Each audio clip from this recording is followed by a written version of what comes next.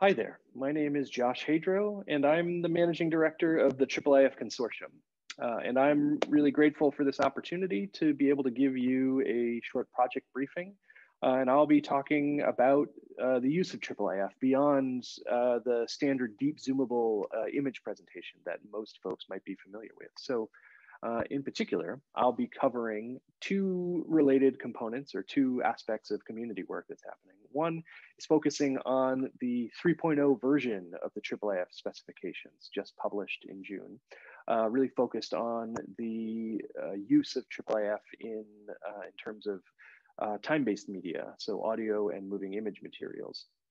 And then I'll shift gears a little bit to talk about um, discovery work. So the idea of how um, people are able to work with these materials in an aggregated um, or with an aggregator institution, uh, and some of the work happening in a group called Discovery for Humans, which is looking at the user experience of how people uh, encounter and interact with IIIF materials.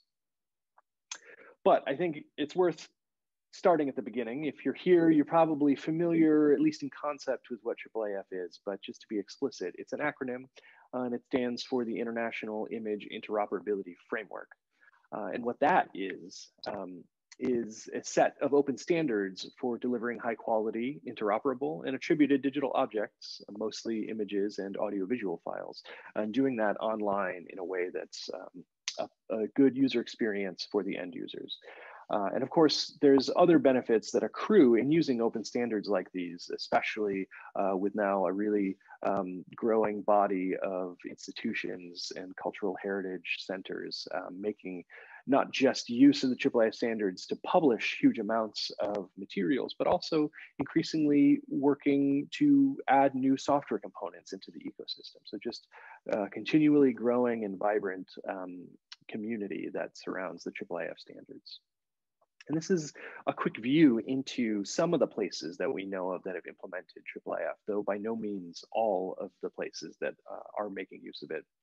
And the dots in red are uh, just major implementations that we know about, uh, and then the dots in blue are actually members of the IIIF consortium that um, help fund the work uh, of making this a sustainable project and, and building buy-in and putting on conferences and doing all the education work to, to make those open standards um, really thrive in, in uh, the global web community.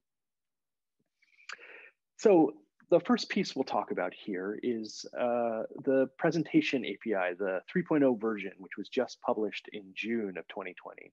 Um, you can see here listed uh, some of the major components that uh, came with the update to 3.0 of that presentation API. But the main one that I want to focus on and, and really kind of the feather in the cap of this new release is this idea that it adds a, uh, a duration um, dimension to what we call the canvas. So for a long time, since the beginning, we've had this idea of an X and Y canvas um, in which you can put images and uh, and other materials to present them to end users. And now with the addition of a time-based dimension, we can juxtapose images uh, as well as time-based media on the same canvas. And then uh, of course, in doing it with the same standards, you then accrue the same benefits of being able to do things like annotations uh, and other supplemental material, all uh, in using the same set of tools and the same basic principles that IIIF has been working on for a number of years. So I think maybe the best way to demonstrate this is just to go through a couple of examples of how people are already making use of this. This first example comes from Europeana, which is uh, just doing a, a, really stellar job of aggregating materials from all of its member states and institutions.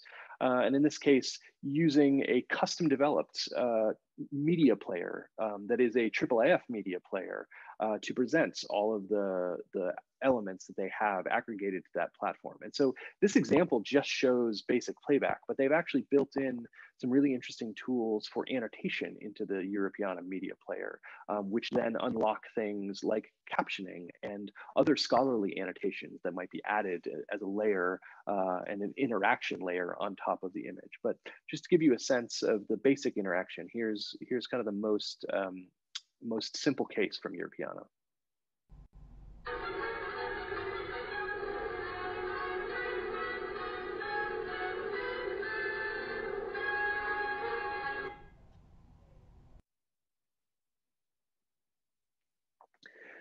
And this next example takes this idea uh, one step further and shows a little bit of what's possible. So uh, this is an example that comes from the McGill, um, from McGill University, uh, and demonstrates the ability to juxtapose um, uh, streaming video assets. In this case, the video is coming from YouTube being able to juxtapose that streaming video component with annotated um, musical notation over there on the right. And one other interesting thing about this is that uh, it's using Music XML, and you can actually navigate through the video, uh, through the different timestamps in the video by clicking on the musical notations there or using that navigation mechanism up there at the top. So I'll play this and you'll be able to hear and see how IIIF uh, 3.0 is able to bring all these components together.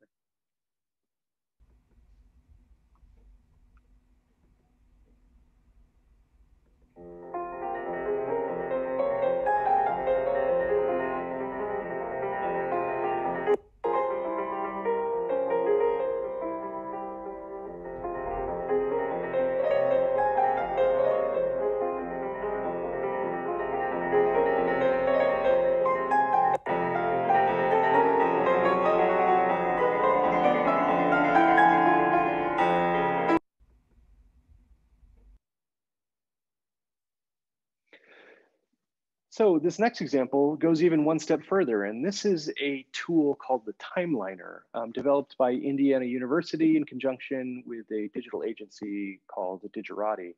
Uh, this is really geared toward um, a classroom context where um, an instructor might use a piece of audio um, and then uses this tool and can use this tool to, for example, describe things like motifs and other recurring elements um, and other sections, uh, breaking up the sections of a piece of music, and then being able to tie that to a visual indicator. So this interface is using IIIF media components and then using that visual indicator to help uh, to help guide students and other um, learners in education contexts um, to see how those different pieces are recurring and, and be able to manipulate and add annotations of their own if they like. So uh, I'll play this example and you can get a sense of that.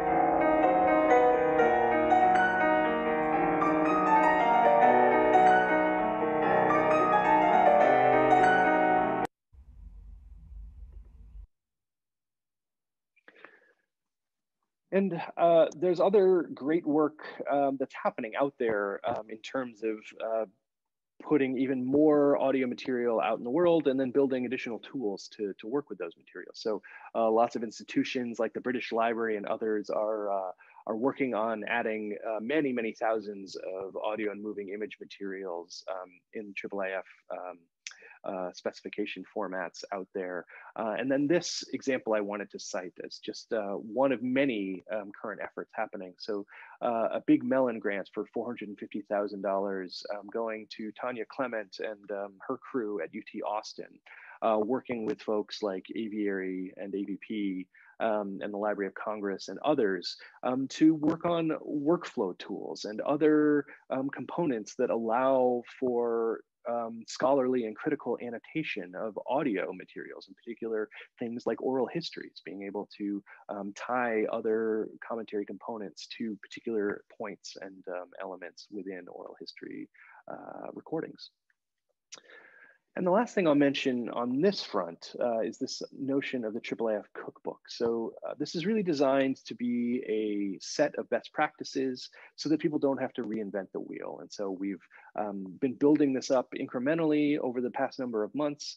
And the idea is that um, from the simplest use case of presenting just a single image all the way to more complex modeling like um, uh, complex uh, opera um, sequences uh, in audio and moving image presentations or, or other complicated uh, mechanisms. Um, those can be modeled and so that uh, people don't have to uh, reinvent or uh, struggle with the basics. They can kind of take what we've given them in these cookbook recipes and then build on that and spend their time um, doing more innovative and more um, useful uh, things with um, new and interesting presentation of uh, IIIF components.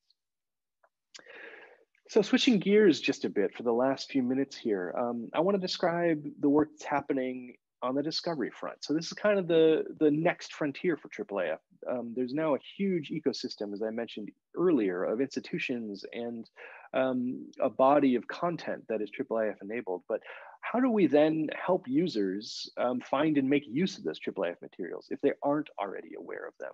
Uh, and that's really kind of the animating question for a lot of this work. So we have something called a technical specification group, a TSG. Uh, and there's a discovery TSG working on exactly this question and working on specifications that can make um, solving these problems a little bit easier. So they're looking at things like crawling and harvesting and import to viewers. Um, change notifications is coming down the road a bit. So crawling and harvesting is, is actually pretty straightforward. It's a relatively simple specification, but just uh, a standardized way of uh, making uh, changes and updates and new new publications of manifests, um, a standardized way of making uh, those, those mechanisms available to something like an aggregator who might be presenting um, materials around a particular domain or a particular region uh, or set of institutions. So this is in a pretty stable place at 0.9 and uh, just seeking some last comments and implementations before 1.0 um, has its final push. We've already seen implementations from the Bodleian and from OCLC doing some interesting work aggregating all the CONTENTdm platforms, for example. Um, and I will also mention that IIIF, uh, the IIIF consortium itself will be hosting a centralized um, registry of the different activity streams that we're aware of. And then the other component of this, uh, the other work happening in the TSG, is this idea of being able to port um, the viewing state. So we call it the content state API. And this is really uh, on two fronts um, uh, where it's working. And it's currently at an early version at 0.2. Um, but what this is working toward is on one hand, the consist the ability to consistently index um, not just the digital object itself, but actually being able to to dig deeply and, and be able to um, deep link into the content state. So a particular annotation or region or, or subset um, within a complex digital object. Uh, and then related to that, the uh, ability to be able to uh, port that view and that um, interaction across different viewers and across different workspaces. So I think to illustrate this, um, there's a couple good links here, um, and thanks to Richard Higgins from Durham University for these examples. So the common interaction, um, the, the most specific thing we can do is link to uh, something like a, an aggregate digital object. Uh, so this one is um, from Durham University is uh, just images of, uh, of a mountain climbing expedition. But Richard calls this exercise kind of find the mountain climber.